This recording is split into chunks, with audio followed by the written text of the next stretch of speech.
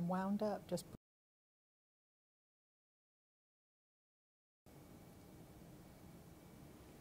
Good evening, everyone. Welcome to Plaid Crafts. We are here with yet another fun painting lesson. Welcome to Monday Night Paint Night Live. And in the studio with me today, I have Dylan Estes. Hey, Dylan. Hey, everybody. Dylan's all mic'd up and ready to help me tonight. So we're going to uh, have a real fun project for you. We're going to paint Frosty's Girlfriend. So many of us this time of year with snow on the ground and cold temperatures outside, all we do is think about the snow and maybe getting outside with the little kids and building a snowman. But Tonight we're not going to build a snowman. we're going to paint a snow lady. We're going to paint Frosty's girlfriend tonight. So uh, Dylan, if you want to um, go overhead, I'll give them a real quick close-up of our project before we actually begin painting. This is Frosty's girlfriend and she is painted on a six by six uh, just artist stretch canvas. So we're going to have a lot of fun with that tonight. And I, for tonight, am going to just be painting on a cotton um, canvas panel. So I've transferred my pattern and this is how my pattern has been transferred. I did not do the detail of like the um, the little stone um, mouth and I also didn't do like the eyelashes, just the basic lines. You'll also notice that I did not transfer the little tassel here because we're going to paint all of our background. If you did transfer any of those things, don't worry, we'll work around that tonight. But let's just jump right into our project. We're going to be using FolkArt Matte Acrylics tonight. If you have FolkArt Multi-Surface, that's fine too. Let's go ahead, if for those of you that are painting along with me, let's go ahead and get out a pretty good sized dollop of paint and the color that I'm going to first use is wicker white. So if you're painting along, go ahead and get your wicker white out. And also, you can go ahead and get a little bit of true blue out. You don't need a lot of true blue. And while, like I said, Dylan here is in the studio with me tonight. If you have any questions, be sure and uh, type them in the chat. We are filming simultaneously both on YouTube as well as Plaid Crafts Facebook page. So Dylan's going to be watching both channels and both uh, social areas there. So if anyone has a question or a comment that you'd like to relate to me, go ahead and type it in and Dylan's going to do his best to either try and answer the question or pass it along to me. Sounds good. We got Our, a bunch of people view in. Great. Uh, we got about 40 people on YouTube right now, so yeah. Oh, that's awesome. Well, thank you everyone for tuning in on a Monday night. I hope you are going to paint along with me, uh, whether you do tonight or paint along another time. I think it'll be a lot of fun. Let's start in on our little girlfriend's face and her body first. So I'm going to take a large brush. This is a three quarter inch flat brush that I have in my hand here. And I am brushing into the puddle of white. Again, this is wicker white. and I'm filling the both sides of the brush. I want the brush good and full of the white paint. And then what I'm going to do is I'm going to add just a little hint of blue around the outside of her face area. So we're going to dip a corner of that brush into our blue and then we're going to come back here and blend on the palette. I do not want a very strong, strong blue. It's going to be a very pale blue. So we're going to use a lot of this white to kind of tone it down a little bit. Once you have your brush so that it's loaded with just a little hint of blue on a corner edge and then white across the whole rest of the brush, we're going to go ahead and start painting on the snow. So on the face, I'm going to keep that blue towards this outside edge here, and I am going to pat that color on right along the outside edge and pick up more white as you need it. And we're going to just pat that color on and if you are painting along with us tonight, if you get a moment, go ahead and write that in the chat and so Dylan can kind of see if we've got some friends that are painting along with us. It would be always fun to know. We've also got a few comments. I know we don't usually broadcast, you know, these kind of paint nights on this format. So if you're a little new to it, you can find the supply list in the description of this live video, and mm -hmm. that will take you to plaidonline.com where you'll find the, a picture of the project along with the supply list and the pattern that Chris just talked about, and you'll find everything on plaidonline.com. That's right. And what I'm doing now is I'm just going back over this little area that we put, so I'm light, putting more white on top of that blue.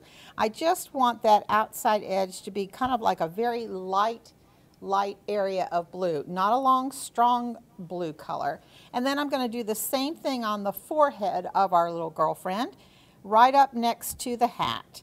And if you have transferred your eyes or your nose, I just put a general outline on mine. That's quite all right. You can paint over it. You might still be able to see through it.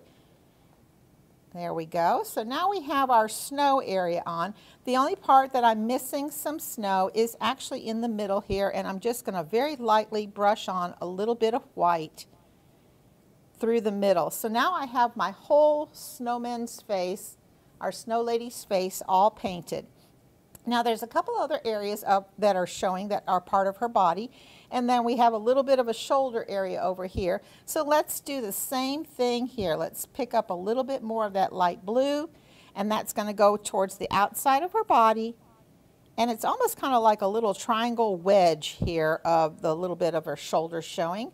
And so we'll just fill that in with white and that little bit of that light blue we have another little area over here on this side and we'll do the same thing. Again, picking up a little bit of that blue on the outside of her shoulder, underneath her scarf, and then this part here is like the uh, tie of the scarf that's coming down. So we're going to paint that blue right up next to that as well. There's one other tiny little area, and you may have transferred it, you may have not. As this scarf kind of swings around here, there's one tiny, tiny little corner here that is still part of the snow. So we can squeeze our brush in here and make another little triangle shape right in there. So that's all we're going to do for our snow areas. So I'm going to go ahead and take a clean paper towel and wipe my brush of that. We'll let this set up and dry a little bit be before we start coming in and putting some of the details on. So in the meantime, let's go ahead and base coat the stocking part of our hat. And that would be this part right up here. That is all painted with another color where you need to add to our palette, and that is aqua. So if you're painting along with me, go ahead and get a little bit of aqua out and we'll use this same brush. I didn't clean it, get, didn't get water in it, but I did blot out the excess blue and white here on my paper towel. And I'm going to load that brush nice and full like I did before with the white, both sides of the brush with just the aqua here on the brush. And there still might be a little bit of white residue here, but that's quite all right. And I'm just going to very quickly paint in, and this is why we're using a nice big brush because this will cover these areas so much quicker, faster, easier, and with fewer brush strokes. So we're going to paint in our stocking hat. And again, this is all done with the color I'm using now is aqua. Use that chisel edge of the brush to kind of help you go along the rim of a hat as well as the outside edges of the hat. Now when you come to the very tail, the tip of the tail of the hat. As I said, I did not paint the little um, pom-pom here that's going to be at the end of her hat. We'll paint that after we paint our background. So just come up to the tip. And I'm going to just kind of fill that in and we're good to go on this. Now, while this is still a little bit wet, I am going to use this brush that's already loaded with our aqua base color and I am going to side load a little bit into our blue. And again, that was true blue. And I'm going to blend on my palette so that it kind of softens that mix of the aqua plus the blue. And the blue is what I'm going to use to shade this hat.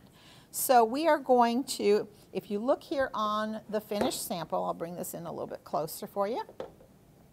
We are going to put a little bit of blue on the aqua part of the hat. We're going to come in right along the corner here and then right across this whole rim.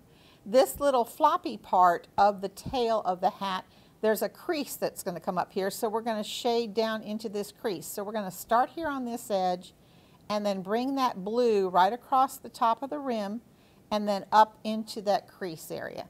So I've got a brush again that's loaded with my aqua and a little bit of my blue And let's go ahead and begin shading that. And this aqua might still be, our base color might still be a little wet, and that's okay. We're going to use this to our advantage to kind of blend those colors in wet on wet. Any questions yet, Dylan? Nope, we don't have any questions. We've got a ton of people joining us. Oh, that's awesome. Again, if you guys are kind of new to this format, everything can be found in the description of this video. And just like all of our lives, this will be posted on our YouTube channel, and you can find it in our Paint Night Live playlist. So they're all together, and you can come back to this and get all the information. It'll drive you right to Plaid Online at any time. Thank you, Dylan. Sure. The other thing too, I'd love to mention, if you are finding us perhaps on YouTube and maybe, or maybe even through Plaid Crafts Facebook page, you may not be aware that we have a Learn to Paint Facebook community here at Plaid too, and it's called Let's Paint with Plaid. So I invite each and every one of you to join us and learn to paint. We offer lots and lots of free uh, painting lessons there in Let's Paint with Plaid. And again, that's a Facebook group you can find us in. All right, now we, after we have shaded across this top part, uh, right up along the top of the rim there, on our little tail here, we're going to bring a little bit of that blue shading here underneath, maybe about halfway, maybe about where this rim meets the stocking cap part. We're going to, from here, uh, while we're on the aqua part, we're going to add the blue here and across this very bottom. So I still have my brush loaded with the aqua and the blue, and I'm just going to pat some of that, keeping that blue towards the outside edge there. And there we go. So this right now is where my hat is. It is based in with the aqua, and it's kind of shaded with our blue. If you are painting along with me and you have that part done as well, you can go ahead and pinch your brush to kind of clean it out we're going to reload the brush with the base color again, which is our aqua. We were pinching it to remove that dark blue. And now what I'm going to do is I'm going to pick up just a little bit of white on one corner and I am going to have a brush that's fully loaded with aqua but one corner has just a little bit of the white. You can see I'm blending here on the palette so I'm making an even lighter color of aqua on one corner of the brush. I'm going to bring this up so you can see. We have aqua on all the whole width of the flat of the brush and then white just on one edge or one corner. And the white is going to be used as a highlight all along the top part of the hat here. So keeping the brush with the white side to the top or the outer edge of our hat, we're just going to start putting a little bit highlight on the hat. And you'll notice when I am painting, I am using what we call a pat, pat, pat motion. I am taking that brush and I'm lightly stroking lots of little patty strokes. I'm not doing like one long pull or one long smooth stroke. If you try using that technique to paint, you'll notice that you'll get a nice smooth more blended look, and it's really very pretty that way. The last, oh, I'm sorry, we had a Dylan. Good comment um, yeah. from Gail. This is perfect for our Minnesota weather. I know, Gail. Somebody, and Dylan, it's so funny. Somebody that I know that um, one of our Let's Paint followers that lives in um, Massachusetts. Mm -hmm she wrote me today too and said that she was going to attend and she said this was very apropos for her weather too because they're having tons of snow mm -hmm. today. You planned in advance for it. yeah, them. right. We aim to please, right, Dylan? Mm -hmm. All right. So going um, back to my hat here, and thank you for sharing that, Dylan. Sure. We have our hat based in with the aqua. We loaded our brush with the aqua plus our true blue, and we added the blue to the hat. Then we cleaned the brush out, and then we loaded it again with our, our um, base color, which again is the aqua, added the white, and we added some highlights. So that's all I'm going to do to that part of the hat. So now I am going to have uh, my brush in water, and I'm going to clean both the aqua and the white and the blue and whatever residue there might be left in that brush. And I'm just going to pinch that clean and nice and dry. And what I want to do now is get just white. So I want to make sure that that brush is nice and clean. What we're going to do here on the rim of our stocking cap is paint the whole thing in real quick with white. Now if you have uh, patterned your straight lines like I did on mine here, we can paint over them and you'll still see just a little bit of white showing through. So right now for quickly, I'm just going to put a real quick touch of white on this whole rim of the stocking cap. I'm not trying to paint in the stripes. I'm just painting from left to right and right to left, just one big wide band. And as you are picking up the white from your palette, if by chance you get a little blue in it because we've worked with blue, or maybe you might get a little aqua in it because we've worked with aqua, that will be A-OK. So we just now have that rim based in with white.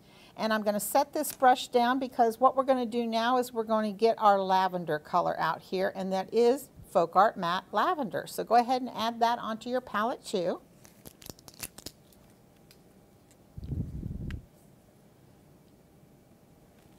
And the lavender is what we're going to use to paint our stripes. There we go. And we might want to shift, shift down to a smaller brush, like maybe a number 12 flat brush for this. And I'm going to fill that brush good and full, stroking in both sides of the flat brush into that little puddle of lavender. Is everyone with me? I hope so. Mm -hmm. Now I'm going to go ahead and move on and we're going to just paint in these vertical stripes. Now as you look at mine here and think about the curve of your snow lady's hat and or her head underneath her hat there, you don't want to have just a straight pull down stroke. You don't want straight stripes. They need to kind of flow and curve with the shape of the hat. So the ones that are here are towards the outside, they should be more like a parenthesis, kind of flowing around that circle. And then still have some curvature, slight curvature as you get more towards the center of the hat. So what I'm doing now with that number 12 flat brush loaded with my lavender, I am just going to go ahead and paint down these vertical stripes that we're adding onto her hat. And one quick trip too is always to use the chisel edge of that brush if it helps. If you don't want to make a solid stripe, you could come like this sideways and then paint across.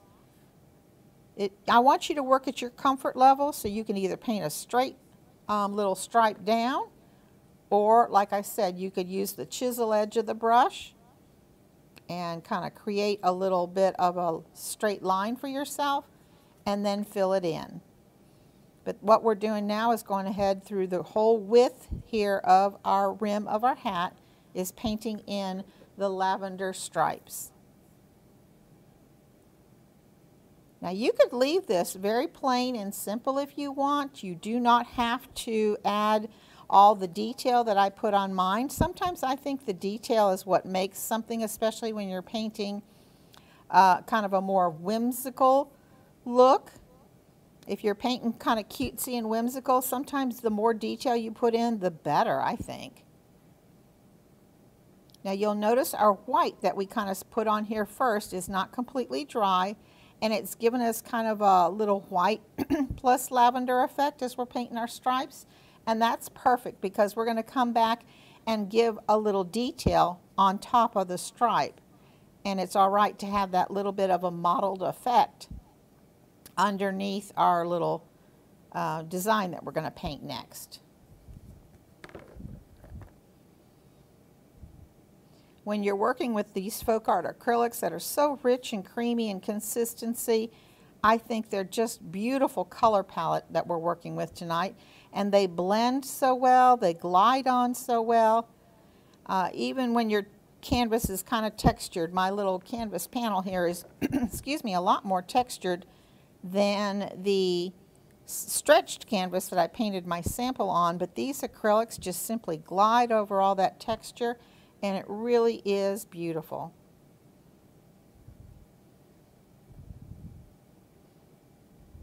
Okay, how are y'all coming?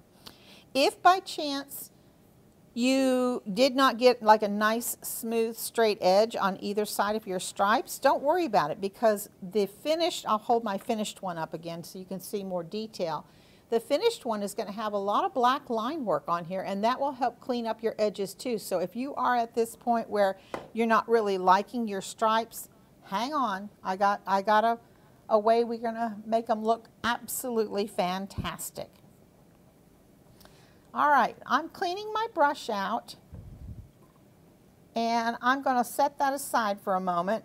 I'm going back to my 3 quarter inch flat brush that still has white in it and I'm going to paint in the scarf area white now. Just a real quick, with that large flat brush, we're just going to stroke in, kind of like we did the rim there of her hat. We're just going to put in a very light coat or application of white all across the area where her neck scarf is. So don't worry about trying to blend, shade, or highlight. We're just putting the white on as a base color. And you want to do all the way around her neck on both sides here of the scarf, as well as that little bit of a fold of her tail here in the center. And that is very quickly applied. Now you'll notice we've done a lot of basing in white so far between the white of the snowman's face and her body as well as the rim of her hat and her scarf. Now if we had gone and painted the whole thing white all at one time it might have been a little confusing especially if you're a beginner painter. I love to teach beginners and it might have been a little confusing to determine which area is which so that's why I broke it down and we're only working in sections. All right, now we're going to just go ahead and put this brush down. I'm going to set it in my water for a moment. Excuse me.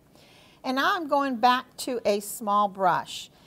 And I didn't put this one on the supply list. You could use your number 12, but you might want to drop down to even maybe a number 6 flat. And what we're going to do is we're going to do the pattern that's on the lavender stripes. So as I hold mine up close, you can see that they're just kind of like little um, touch down and pull marks. And we're going to pull almost like a little fern. We're going to pull towards the center and we're going to pull in one direction. So I'm going to draw something here for you. If my marker will work. There we go. Okay, so here's our stripe. This is all lavender right now. And what we're going to do is we're going to think, just pretend, I'm not doing this, that we're going to paint this, but just pretend that here's the middle of our stripe, okay? Those are little dotted lines. We're going to take a little flat brush and we're going to have the angle out this way and we're going to touch down and then we're going to pull to the middle. Then we're going to have an angle brush this, uh, the angle of the flat brush this way and we're going to pull to the middle.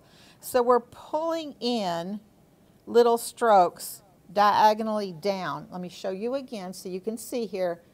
So can you see I've got a flat brush up in that corner and I'm just stroking as if there I'm stroking towards the middle of each stripe.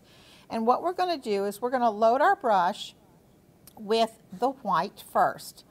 So depending upon how big of a pattern you want on here, it almost kind of gives you the effect as though there's a knitted design there, uh, a knitted pattern. So we're going to start with white and then we're going to touch in a little bit to our lavender and we're going to make a little bit of a lighter lavender on the side here. So we've got the white and a little bit of lavender and a smaller flat brush. I jumped down to a number six and as I was saying a minute ago, depending upon the size of the little strokes that you want here or the size of the knit that you want on your design will determine the width of the brush. So I'm going to start here. I'll do it on this one right here so you can see. I'm going to touch here in this corner and pull and lift. Touch in this corner, pull and lift. And it's just very quickly done all the way down. There you go. There's one done. Very, very simple. So I want you all to do that too. It's a smaller flat brush loaded with white then loaded with our lavender to create a lighter lavender. And then we're just going to stroke. And if it's easier for you to do like one side of the little um, stripe first, like I just did the left side all the way down. Now I can come back and do the right side. You can reload your brush every so often. You don't probably have to load it for every single stroke. And once you kind of get the hang of this, I'm just touching down and I'm pulling, but while I'm pulling, I'm also kind of lifting up real quick. And it's given us kind of like, um, what do they call that? I think they call it a garter stitch when you're knitting. Oh, okay, yeah. Mhm. Uh, it kind of gives you a little bit of that knit, and probably some of our friends are knitters out there. They Yep. might We have a lot in- of people connecting the two there, kind of making it look like a like a little knit. chain knit. Mhm. Yeah, yeah. So this, none of this is difficult. Um, when you look at the whole overall design, there's a lot of detail. So sometimes detail is intimidating to some folks and they look at it and they think, oh, I can't paint that. But you know what? Like everything else, when you break it down just a little section at a time, it's very, very easy to do. Could you hold that up again just so everybody kind of sees? Yeah. I zoomed in a little bit too. There we go. Perfect. All right. Let's move on to our face because my face is dry. I didn't uh, use a hair dryer because we've been moving around to different parts here and my face is dry now. I love when I'm painting things that have faces to paint the faces first because I always feel like I have a friend in the studio with me. Um, but we moved, after we started that, we moved on just because I wanted this part to be completely dry.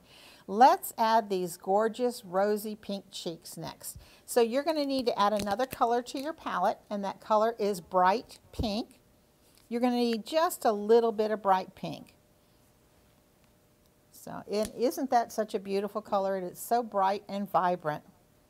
And now what I'm going to do is I'm going to use that large three quarter inch brush that we've been using for a lot of our base coloring. And I want to clean out all the paint that I have in it. And I'm also going to make sure I really blot it well on a paper towel here. Make sure it's really pretty much dry. Now when we're going to do our cheeks, we are not going to do the type of cheek when you see an eye. Sometimes you see cheeks that kind of look like rainbows, or you even see them where people put in a full circle. We're not doing this, but we are kind of giving it a full circle look, but it's very delicate and sweet. So to achieve that, we are going to, with our flat brush, and this is the large three quarter inch flat brush I'm working with, I'm going to put just a little bit of pink on one corner of that flat brush. There's not a lot of paint. It's not all the way across the whole flat of the brush. It's just on one corner. And what I'm going to do, if this is still my eye here, and our cheeks, of course, are underneath the eyes and in the middle of this face here. If you have penciled in or uh, patterned in where your nose is, like I did, I can still see my nose and my eyes, even though I've got white paint on here. We're still going to put the cheek on here on the right side of our snow lady's face. Her, her nose is going to go up over the cheek, but we're still going to put the cheek on as if the nose isn't there yet. We'll layer and put the nose on top, so don't try and work around that. Here it is up close if you want to see the finished one. So I've got my brush, I've got it loaded with the pink, and what I'm going to do is think about the middle of the cheek area. And I'm going to put the side of the brush that has the pink in it towards the middle of the area and I am going to pat around, change the shape of my brush, the direction of my brush.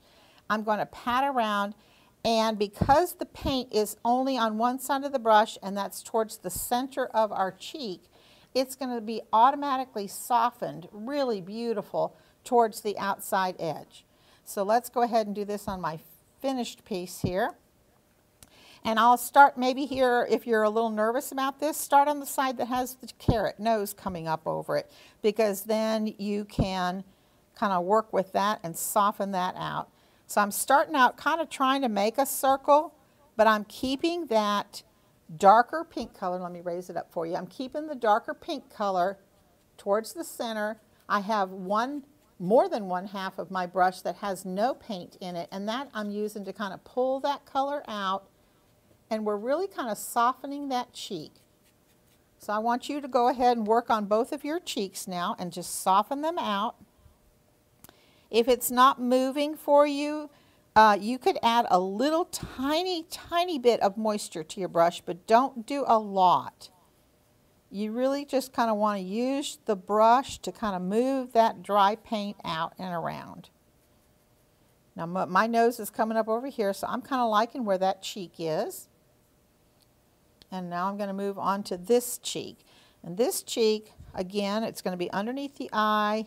I'm kind of starting out like a circle, kind of blending that color around in a fashion of sorts. And then I'm going to start really working some of that color out and softening it. She's been out in the snow with her boyfriend Frosty, so she She's got some color. She's got some color. And I love this very, very hot pink color. So pretty for a snow lady's cheeks. Just play with it until you get where you like it.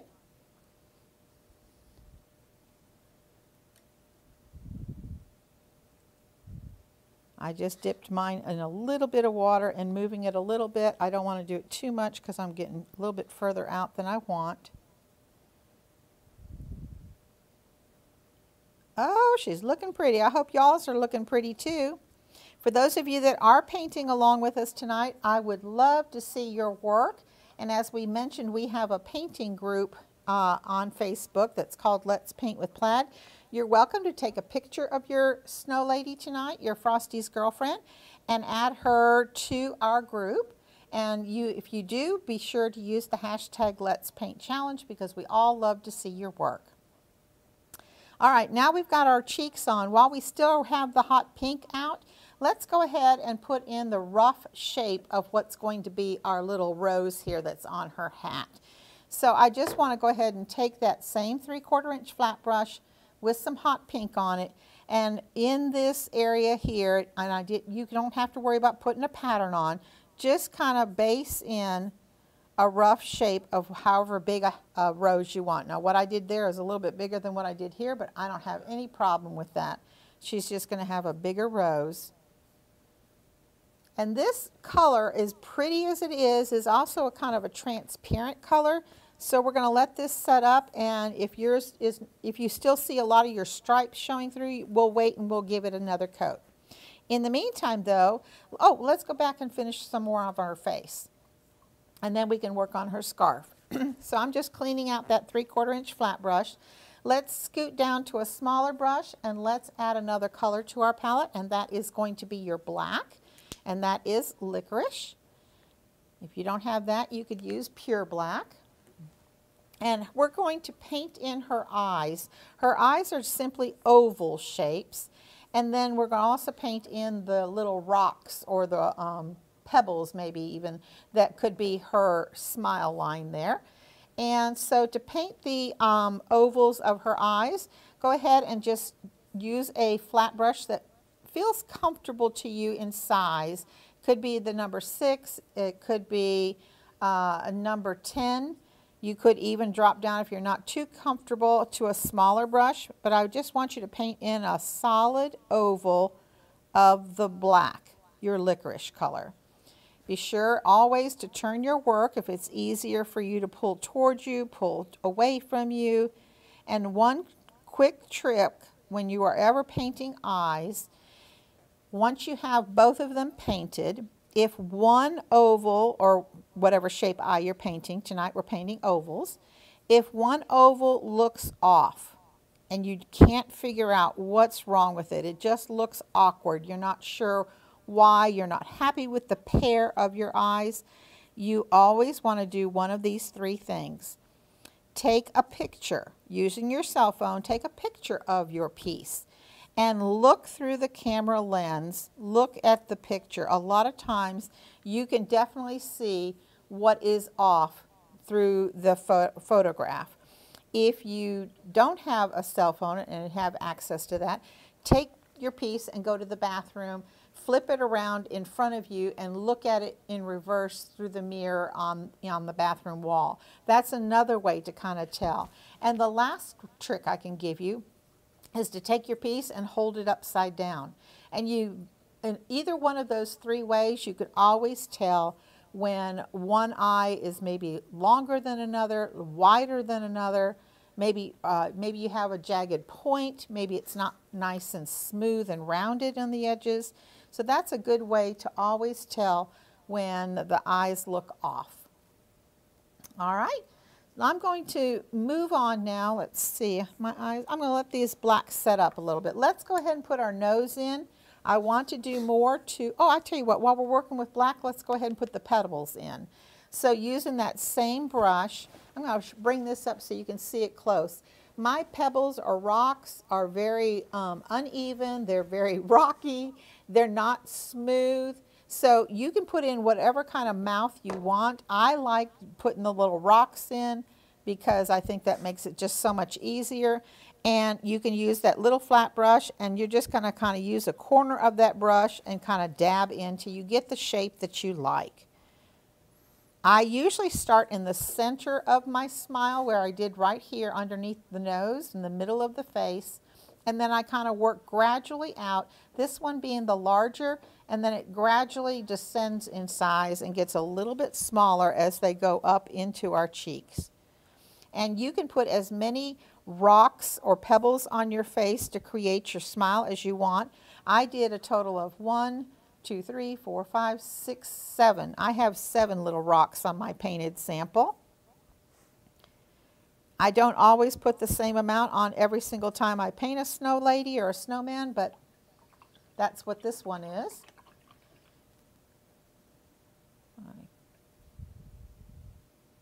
Think I'll put one more little one here on this side.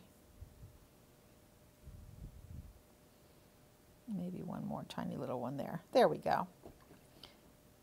My eyes are dry, so let's do our eyes before we do our nose. So I'm going to go back to a uh, larger flat brush. I am going to use that um, number 6 and or maybe a number 10 I'm going to load it with some of our base color of the eyes, which was our licorice. And then I'm going to side load into our aqua. And I'm going to blend on that palette. We're going to use some aqua in our black eyes. And I want a brush, a flat brush that has aqua on one corner and it's black across the whole rest of the brush. So uh, let's see, here we go. There you go. You can see that that brush has black and aqua on it. And as I raise this up, I'm going to show you, can you see a little bit of an aqua, kind of like a U shape at the bottom of our ovals, but not completely at the bottom. We have a little rim of black showing through. So with this brush that has the aqua in it, on that eye shape,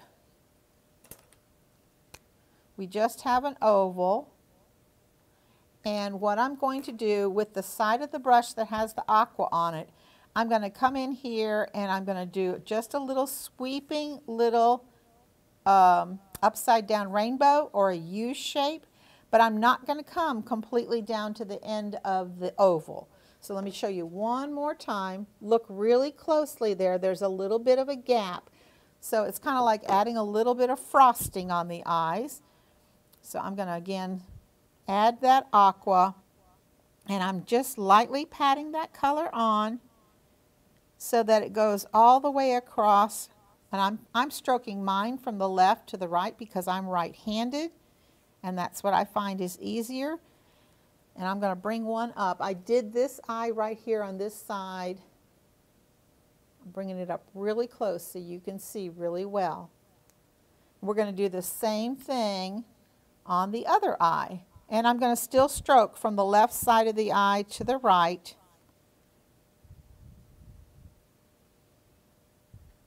Now, once I have that in as a base, I'm now going to, again, with the black still in my brush, the aqua still in my brush, I'm going to pick up just a little tiny bit of white on the aqua side of the brush. So we have our aqua, and we have a little bit of white, so we're going to lighten uh, white to lighten that aqua a little bit. And we're just going to retrace those steps. So we're putting a little bit more of maybe a aqua frosting on the eyes here. And remember, you're not going all the way down to the complete oval. You're going to keep a little bit of a black rim. Let me show you really close. All right, now what I'm going to do is I'm going to use a liner brush. So I'm just going to go ahead and clean that brush out.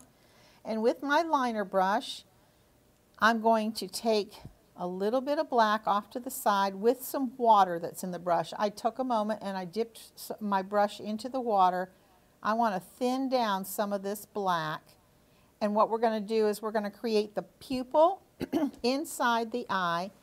And that pupil is kind of like an asterisk. if you think about making a plus sign and then crossing the railroad tracks in the middle, kind of like an asterisk like that.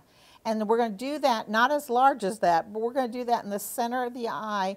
And then sometimes I do even go back and add a couple more. And that is going to be our pupil inside the eye. So I'm going to show you this one up really close.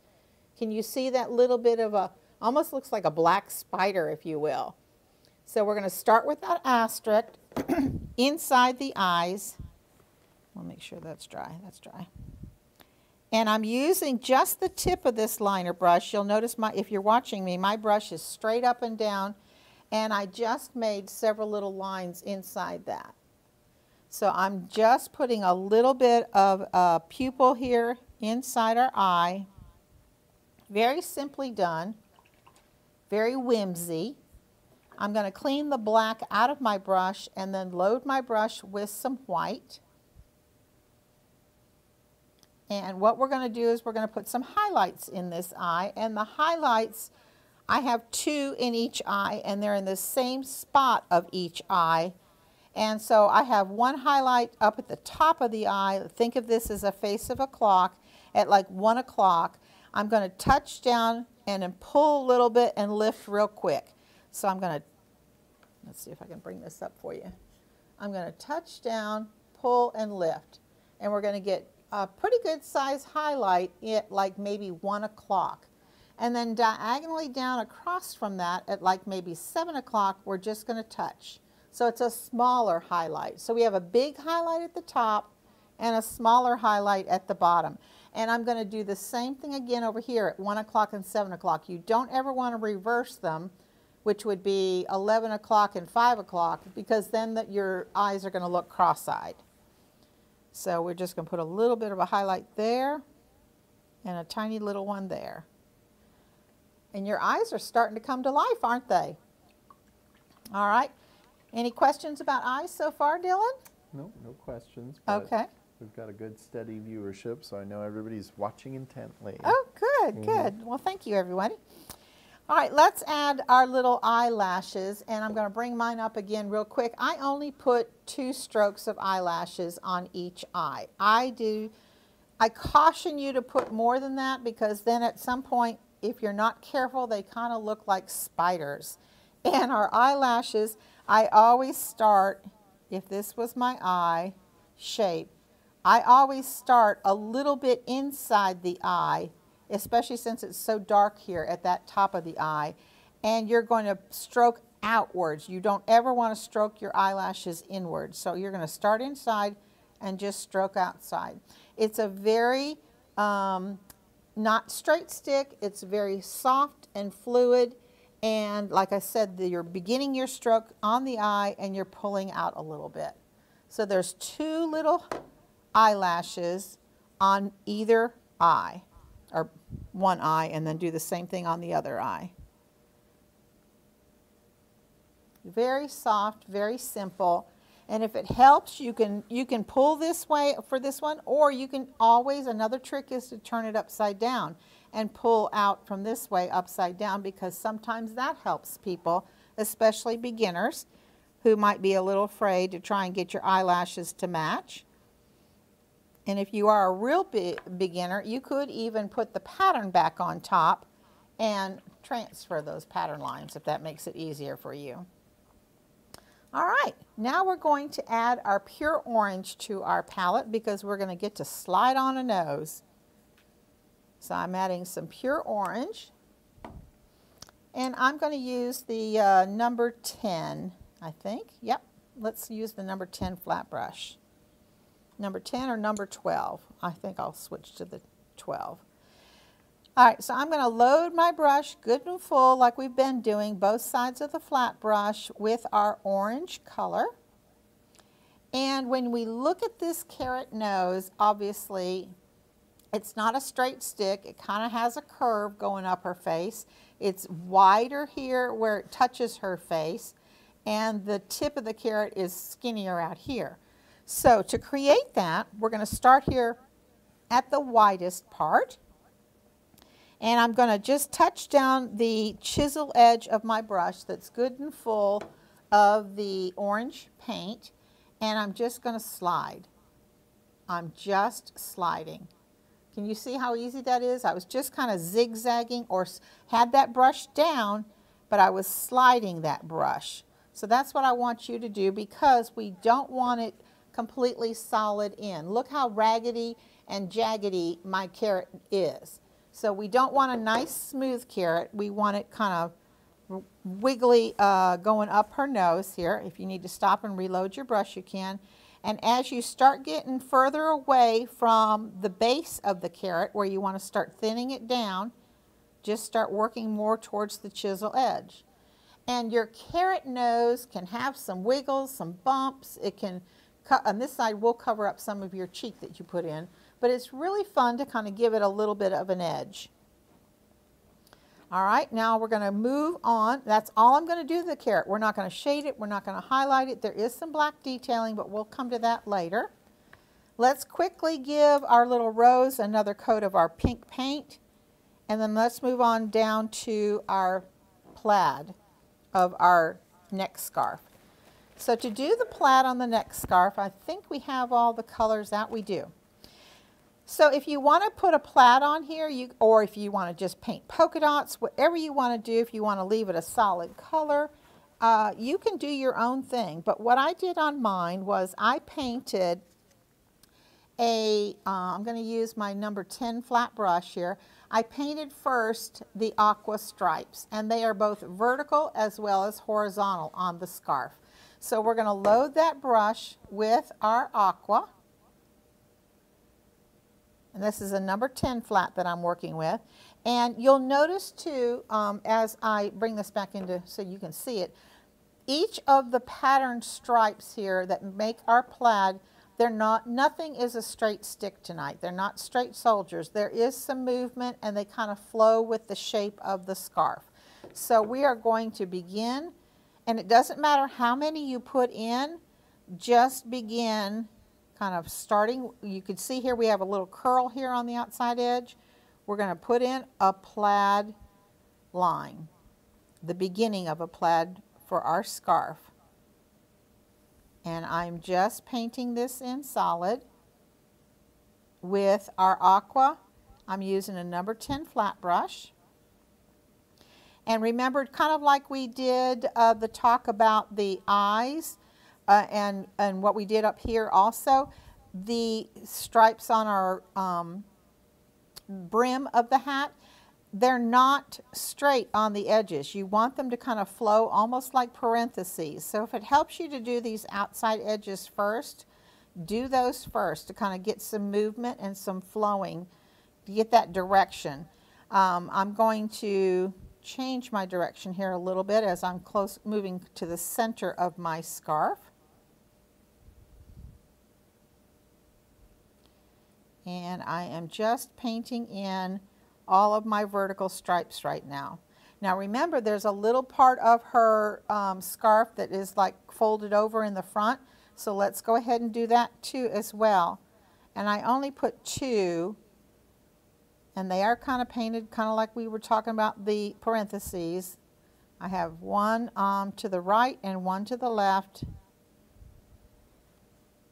All right, let's go ahead and now put our vertical stripes in. So when I did mine, I have actually two of the aqua stripes through here. If you want to only add one, that's okay too. So a good way to do those is to start at the end and go right to that point. Then pick up and go to the next point.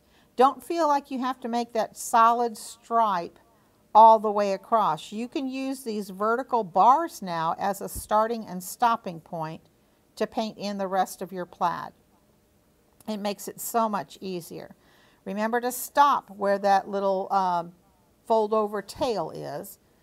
And then I'm going to pick back up on the other side and come all the way over here. And then I'll repeat that same process again. Remember you can stop and start. Use these vertical bars as a pattern for you. Making it easy so you don't have to make one long smooth stroke. And stop that again. And one more over here. It's already starting to come together, isn't it? Now on this little folded over part, you'll do some horizontal lines there too, but I tend not to match up to what I already have there. So I'm going to go off kilter a little bit and bring one more in here and maybe a little tiny bit of one down there. All right, now I'm going to clean that brush out and we will use our liner brush for the rest of the stripes that are going to create our plaid. So with my liner brush, and I'm going to load it up first, um, let's go with our, yeah, it was the lavender next. I'm looking to see what the lines underneath. Let's go to our lavender. I am bringing some water to the puddle and I am thinning that down a little bit so that it will flow from our brush. We want our paint a little bit more fluid. So I'm bringing water to the lavender and I'm really mixing that up really well. I want it to flow from my liner brush. And the lavender uh, little stripes, I put, as you're looking at the pattern here, I put every single lavender stripe to the left of our aqua stripes. So everywhere where you have an aqua stripe, give a little space from the white let a little bit of white show through, in other words, and then paint an aqua stripe. I'm, I'm paint a lavender stripe. Plaids can be very, very detailed or they can be very simply done. It's kind of a matter of personal preference how much you want to add on to yours. And on this one here, same thing, all to the left.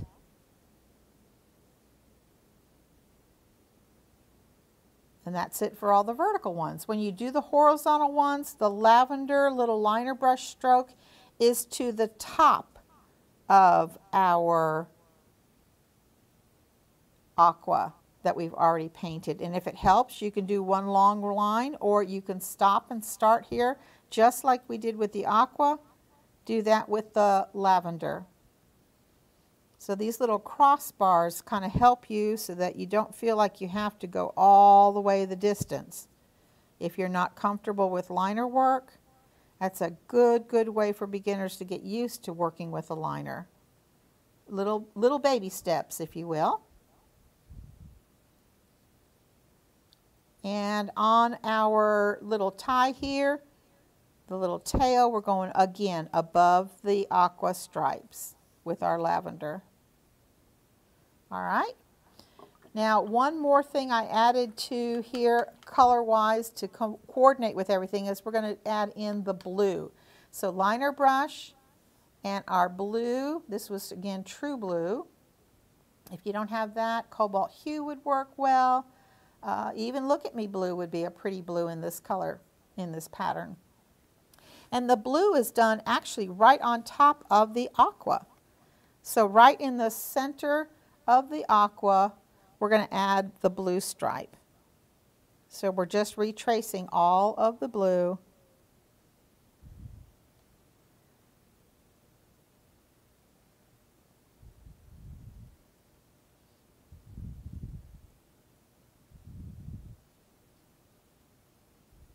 If you are painting along with us, I cannot tell you how excited I am to be able to see your Frosty's girlfriend and by chance, if you are posting her in our group, Let's Paint with Plaid, be sure and tell me who what Frosty's girlfriend's name is.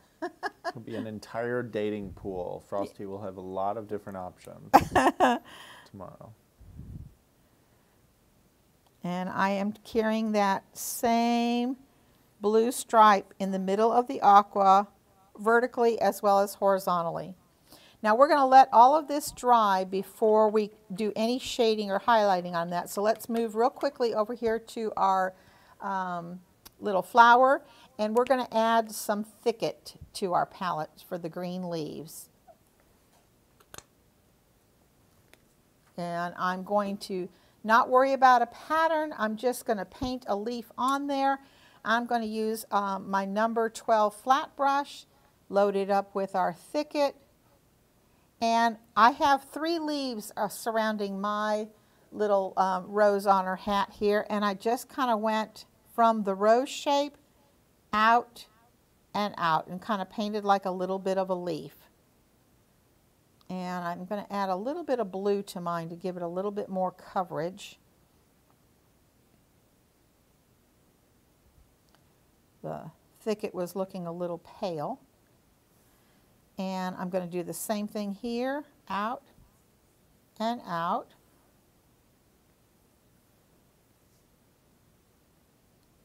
And one more leaf, and that is towards the bottom here. And this one can actually come out onto her face if you want.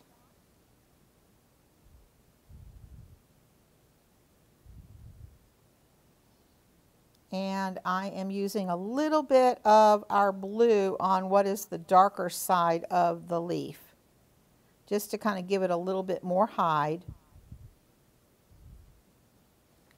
And then I'm going to remove the paint from my brush and I'm going to pick up a little bit of aqua on one corner of the brush and we'll come back and we'll highlight the opposite side of the leaf. Again, kind of working wet on wet with our aqua. So the leaves were thicket. And then I wanted to put a little bit more height on mine, so I added some blue on the dark side of my leaf. And then I removed the paint from my brush. I added the aqua and I added the aqua frosting on the light side of the leaf. So there's a dark side of the leaf and a light side of the leaf. And now I'm going to clean that brush out in my brush basin, dry that brush really well. We're going to use this brush to work on our little folk art rose here. The little rose is basically this hot pink misshapen circle that we've already painted here. And we are going to shade the bottom side of this pink here and we're going to shade like a little well inside our rose there and that shading color is going to be done with our blue. So let's first load our brush with our base color, our local color, which is the hot pink. I'm going to tip a corner of it into our true blue. I'm blending on the palette here. That blue starts looking a little bit purple when it's married up with our pretty, pretty pink. And I am just going to take that same brush and kind of pat, pat, pat. Very rough, not a lot of detail, just patting to shade the bottom of the rose. Wendy reminded us that in the movies, uh, her name is Crystal. Oh! Mm -hmm. I kind of forgot about that bit. Yeah, I think they well, that you, in a few different ones. Mm -hmm. Well, for those of you that are painting Crystal tonight, she's all dolled up with a little rose on her cap. And then we're going to put, and thank you for that, Wendy. I did not know that. We're going to also add that little bit of a well inside her rose here. Clean out my brush. And I'm going to load my brush one more time with that base color, my local color. Again, it's that bright, bright pink, hot pink color. And I'm going to tip a corner of that into my white. So I want white and I want a highlight of my pink. And with that brush, I'm now going to just kind of highlight around this little circle here. So I'm just kind of putting a little bit of a blush here, if you will, or a highlight on our rose. I want to pick up a little bit more pink.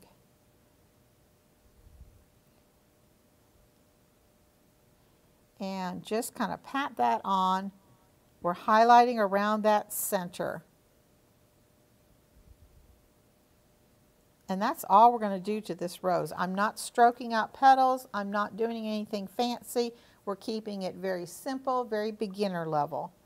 All right, let's move on real quick now. Let's get those big brushes out. We're going to get our three quarter inch flat brush and we're going to start just putting color on on the outside edge.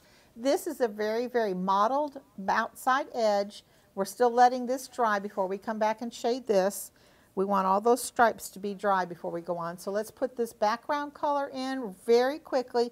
You'll see that there is aqua. There's the blue, the true blue. There's some lavender in here. I've used some white to kind of highlight uh, some of those colors. Just play with it. You're going to take that large flat brush. I'll, start out maybe with some white in my brush, maybe a little bit of my aqua. And I'm just going to start playing and putting color on and then as I move around, I can pick up some more color.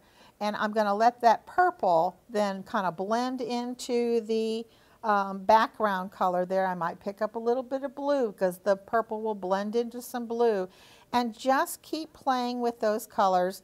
Very soft, you can see here between the blue and the purple, very softly kind of blending them. I might add a little bit more aqua where I started it up there at the top. And I don't take the time to clean the brush between each of these little color uh, changes, if you will. And I'm just adding some purple now here on this side. I'm just going to continue around the whole canvas, filling in this background color and just allowing these three colors, or four if you want to count the white, to kind of lightly blend and I'm going up very carefully when I move up towards the hat. And no two backgrounds are ever going to look the same because you're just constantly picking up another color and softly blending it in. I'm, as you do this, you'll notice I'm moving my brush around quite a bit too. I'm going from the right to the left. I'm flipping it and flopping it. Each of my brush strokes are different. They're never the same. I'm picking up a little white every now and then to kind of lighten the background. Just kind of play and create a mottled background between the lavender, the aqua, and your blue, and use a little white every now and then.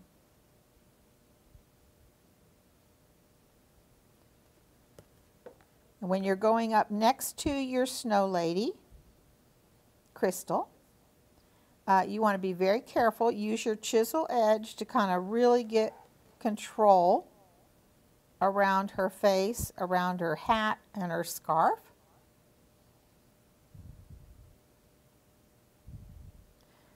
Every so once in a while, you can even kind of squeeze some of that excess paint out of your paintbrush.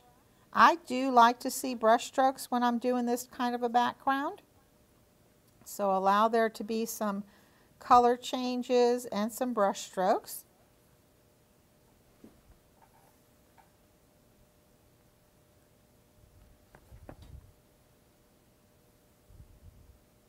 Any questions about this? No. We just have everybody watching. Okay. For those of you that are in snow country, um, I know you're probably going to have snow for a while, aren't you?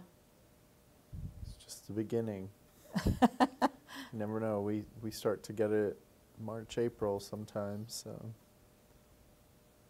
Here in Atlanta, Georgia, where we're located, we tend to get more ice storms than we get snow. And when they when it happens here, everyone just panics. There's not a loaf of bread or a can of tomato, Campbell's tomato soup mm -hmm. on the mm-hmm. counters and in the grocery stores.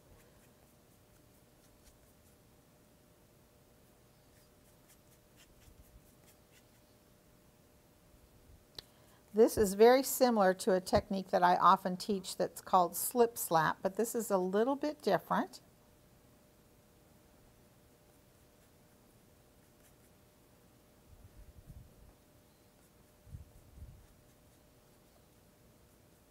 We're just playing with the color and we're making it any which way you like. I'm almost done with mine.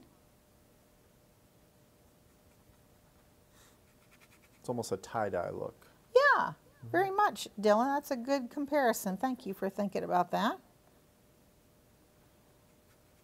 And this, course, can be done with any color combination. I would just warn you if you want to play and experiment with this on other projects, just try not to uh, use too many colors. Kind of stick with a unified color family. In other words, you don't want to have 10 or 12 colors out here all at one time.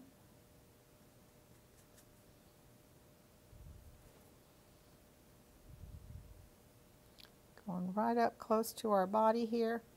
So I'm using the chisel edge of my brush. And one more little corner here.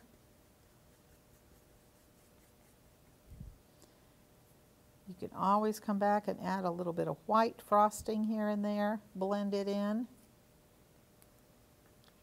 And I'm thinking the stripes on my scarf are about ready for the next step. So I'm going to stop this. I basically have color all the way around. I think I'll put a little aqua in this corner here. And you'll notice that this does not look anywhere like this one because the color combination and where the colors modeled together are completely different between the two. But it's still going to look nice. Let's put some uh, trim on our hat first and then we'll do the shading on our scarf and the last thing we'll do is our line work and we're almost there y'all. So let's talk about the little um, tassel here. I'll bring it up real close. This is all done with the liner and you can pick and choose what colors you want to make your tassel. I used um, the lavender, the aqua, and the blue. Imagine that. Those are the same colors we were just using. So I'm going to put a little bit of our lavender on and what I did was I let's let's do yeah let's I'm going to pick up a little bit of blue with the lavender just to deepen it a little bit when we start the tassel there's a like three little stripes across here. These are like horizontal to our tail coming down. We're just going to widen it a little bit first. So I just put a little bit of lavender with my blue to make a darker stroke across here. All right? Then from there is where we're going to make the ponytail part of our pom-pom. Keep in mind, think about parentheses. They're going to flow here on the outside, flow on the outside, and just continue kind of flowing down. So I'm going to start first. So it doesn't hold. There we go. And I'm using um, very fluid paint in my brush. I'm using my brush straight up and down to my surface, and I'm very, with light pressure, just starting to make some like strands of yarn. And you'll do that with each of the colors that you want to use for your pom-pom. So that was right now a little bit more of the blue. I'll switch and put a little bit more of the, our, our lavender in here now. And I'll come back and add some aqua and maybe even a little bit of the white with the aqua next. And that's what colors I used on my pom-pom. If you'd rather highlight more with the pinks, you can. But I was kind of coordinating with our scarf here. And I'm going to add just a little bit of white with my aqua. Again, I'm using some water to kind of make it more of a fluid consistency and do a lighter aqua. And I just kind of layered these colors here on top. And then I'm going to take the white and for those little horizontal stripe bars that we have here, right here, I just added like the four or three, I think it's three, little stripes across. One, two, three. And then the rest is going to be our trim in the black. If you want to add white polka dots here on the top, you can. And the white polka dots can be painted with your liner brush, actually painting a circle and filling it in. Or if you want, you could use the handle end of your paintbrush dip into the white paint, touch down, and rather than just completely lift back up again, actually make a little bit of a circle, draw a little circle while you have your brush down. So you can add little white polka dots on her hat if you want to. You understand how to do that, so I don't have to keep, keep putting white dots on mine.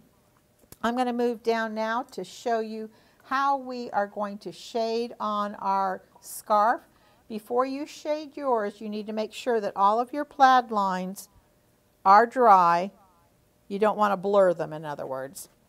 So what I'm going to do is I'm going to use a little bit of water in this th large three-quarter inch flat brush and I am going to bring some of my blue over here and I am going to kind of create a very fluid blue. I'm going to kind of float this color on and I'm doing this so that the blue is only on the corner edge of my flat brush. And what I'm going to do is I'm going to follow the shape of our scarf and if you don't want to do this with the blue, you could do it with the lavender. You could do it with a blue and a lavender in your brush. And I'm just kind of floating some of that blue along the bottom of the scarf, around that tail part that's hanging forward. So this kind of sets the neck part of the scarf behind it. And we'll also go right up underneath her chin with this blue. And if this is too much blue, and like you said, you want to bring a little bit of lavender in there, you could even float some lavender now even on top of the blue. Don't forget the outside edges.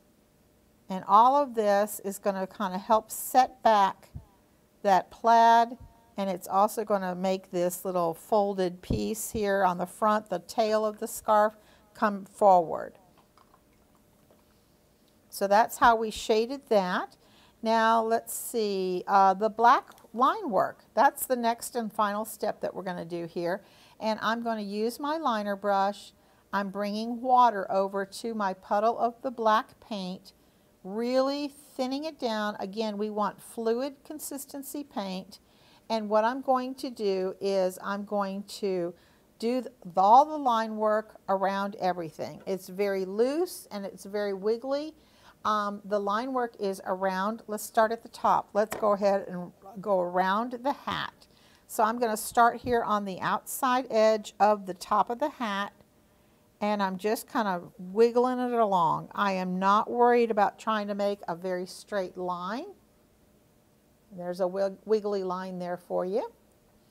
And this black trim is really what's going to make your Frosty kind of come to life.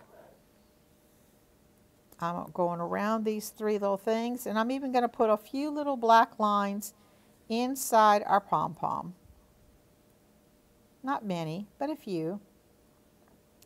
Then I'll bring it back up around our little knot there and around the top of the hat. We're going to go across the top of the rim of our hat.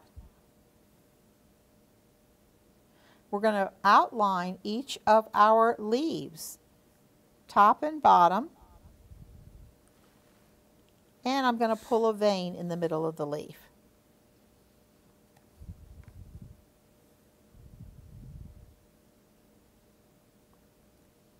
If you are a very, very basic, basic beginner and you're not quite sure about liner brush work like this, you could even use, I'll let you cheat, you can use a black Sharpie marker if you'd like. But the liner brush is something to really understand, begin to practice, and learn control of it. I also just outlined my rose, and the rose is very whimsy. It's very wiggly on the outside edge. You do not want to worry about trying to make everything perfect with straight lines right now. We're going to align the cuff and each of our lavender stripes. All of this is done with our black. The black has been thinned with water. I'm using the liner brush straight up and down, allowing the paint to just simply kind of flow from that liner brush. And as you start putting this on yours, are you all noticing how she's like really coming to life. This black is such a great accent and is so nice because you don't have to worry about the smooth lines. Let her be a little wiggly. She's a piece of folk art. She is a piece of whimsy. And when you do the line work around her face, that long kind of like U shape from like maybe uh, ear to ear or hat to hat, all the way around her chin, let it wiggle. Don't worry about trying to make that long, smooth line. You'll actually like it better if you give her a little more character. You're going to outline around the scarf. There's a couple folds in the scarf that you can bring in from the outside edge. Don't forget her shoulders that are on both sides of the painting.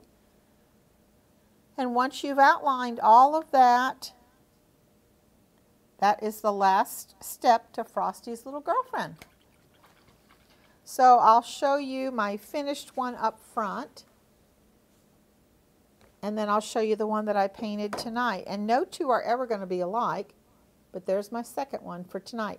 Now I will tell you, I put on the supply list, and if you purchased yours or got yours out from your um, stash, FolkArt Extreme Glitter is a fantastic product. It is the very first glitter paint that was ever out on the market. And what this is, is this is under the FolkArt brand. I'll bring the label up real close so you can see. FolkArt Extreme Glitter. This is the hologram that I suggested we use tonight. This hologram is a um, is a holographic glitter, but it is a very fine, sugar fine glitter that's mixed in with our paint. And when you use the holographic glitter, if you're not familiar with it, um, I'm going to use, I already have some on my Snow Lady now, but I'll put a little more on her because um, I don't want to, I want to make sure that's completely dry. Make sure your snow is completely dry. Make sure you have a really nice, clean, large brush. I'm going to use my 3 quarter inch flat brush. And this holographic uh, extreme glitter looks like white paint right now. But it really isn't. I don't know if I can show you up close. Uh, you can see a little bit of the glitter in there on the brush bristles. There is a very, very, like I said, sugar fine glitter in here. And I applied this over her whole face, even the black of her eyes. I did not do her carrot just to have some contrast, but I applied this on her face, across her cheeks, across the little um, rocks and everything. And when this dries, and you can put one coat or two coats, this is now going to be my second coat on this one, um, it's going to be a very fine, sugar fine sparkle. It, you can see it now it's wet. It's not going to sparkle quite as much now while it's wet. It really needs to be dry before you'll see the sparkle, but it's going to glisten just like, like snow glistens. And that's all that I did. The last thing I did was, of course, sign my name, but I think Frosty's girlfriend is done. Do we have any questions, Dylan? No, we've got just got some chatter about um, extreme glitter. So there's about uh, I think there's a little over ten colors in the line. Yes. People are asking, um, and all the weather that's happening. There's lots of yes. um, comparisons across the uh, the country tonight. But we're glad you guys could join us. Yeah, thank you so much. And I want to tell you that you'll want to mark your calendar now on a regular basis for uh, this month and into next month too, because every Monday night, one of our content team members here will be here doing a uh, free Monday night paint night. So um, you'll want to grab your Let's Paint Live kit because we'll all be using the same kit of paints to make it easy for you. That kit also comes with a set of brushes too. So grab yourself that kit when they're on sale here at plaidonline.com and get a kit and join us every Monday night because we're going to have a fun painting lesson. Andy Jones did last week and uh, his lesson is still available and tonight's lesson will be available too. They're all going to be stored in a playlist on YouTube and you'll be able to watch them all over again. So again, I'm Chris Williams. I hope you all enjoyed Frosty's Girlfriend tonight. I hope we all had a lot of fun together. I know I did, sharing a lot of painting tips with you tonight. And I cannot wait to see your Frosty's Girlfriend. Remember to join Let's Paint with Plaid and post your projects using the hashtag Let's Paint Challenge. And if you post them in the Plaid Crafts area, just you hashtag Plaid Crafts. We'd love to see your work, and thank you for joining us all tonight. And Dylan, thank you for helping to moderate tonight. Absolutely. Thanks, guys. We'll see you next Monday night.